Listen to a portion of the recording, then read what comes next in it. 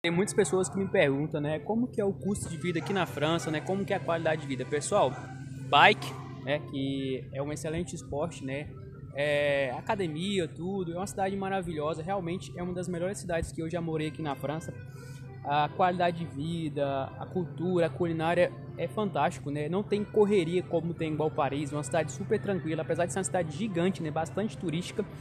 Ah, também é o centro da Europa, né? Tanto é que aqui nós temos o Parlamento, Parlamento Europeu aqui na cidade. Então a gente está geograficamente no centro da Europa. Então, cara, eu amo Estrasburgo. Aqui, ó.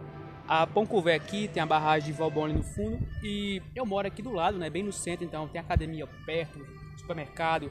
Vou pro trabalho de bicicleta, né? Todos os dias são 12 minutinhos de bicicleta faço tudo de bike, né? Então isso é uma qualidade de vida diferente da cidade grande, que tem aquele trânsito. Quando eu morava em Paris, tinha uma hora para ir pro trabalho, uma hora para voltar para casa. Então aqui não, aqui eu consigo fazer tudo de bike rapidinho.